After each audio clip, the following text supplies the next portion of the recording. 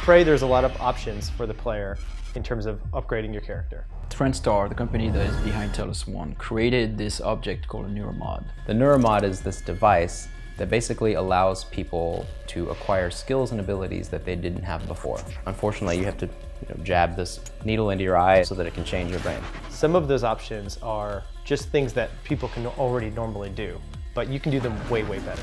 You know, the ability to use firearms better, or to run faster, jump higher, being able to repair things or hack computers. My favorite human power is the repair tree. You can use it to repair equipment that's broken in the station. You can use it to upgrade into other things like upgrading the weapons more. There are turrets on the station that you can take advantage of. So that's a cool indirect way to play is to sort of be the turret lord. Everywhere you go in the space station, make turrets, fix turrets, set turrets up, and just let the station's defenses work for you. I enjoy hacking because that is just the type of gamer I am. I cannot resist a locked box or a locked doorway. I'm compelled to find out what's inside. I really like to use something called combat focus. It's a power that makes you think faster. The world is a little slower. It allows you for being faster in combat basically and therefore more lethal.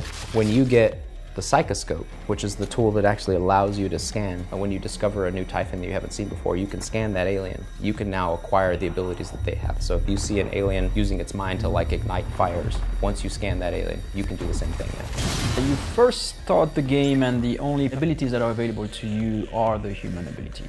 If he wants, the player can only take human abilities because there is a trade-off for taking alien abilities. One of the trade-off is that after a certain amount of powers that you learn from the aliens, the turrets will start to recognize you as an alien, so they will start to shoot you. However, it is probably worth the trade-off because the aliens' powers are pretty cool. Kinetic Blast is one of the first Typhon powers that you'll encounter. It's a way that you project an explosion into the world. It's like a psychic grenade.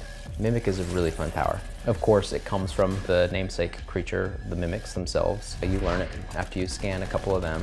Mimic Matter is a really versatile tool that players can use to dupe their enemies, avoid hazards, or negotiate environmental obstacles. Super Thermal is essentially a firebomb can be deployed as a trap. You can place a super thermal where there isn't an enemy, and then you can lure an enemy over to it, and it will explode and detonate in a huge pillar of fire. Lift field, you can use it as a traversal tool, of course, to get to higher places. It's also a trap. You can lay one down and it'll suck up any aliens that are close by. Remote manipulation is a tool for telekinesis. It's essentially a way of reaching out and touching things far away. You can pick up physics objects that are far away. You can even repair and hack things that are far away. Phantom Shift is a really useful escape tool. You can use it to move quickly in any direction, and from where you started the power, you leave a doppelganger behind. So enemies will be fooled into attacking your doppelganger while you're somewhere else. So Mind Jack allows you to control an enemy to work with you. And that's a power that comes from the telepath because the telepath do that on some of the employees of the station. It's mostly a mind control. Psychoshock is like a direct mind blast to an enemy. You are projecting so much psychic force and interference into their brain that you do massive damage to the enemy and you nullify their ability to use their own psychic powers. What is really important at Arcane is to give players the choice of how they play. No two players will have the same experience.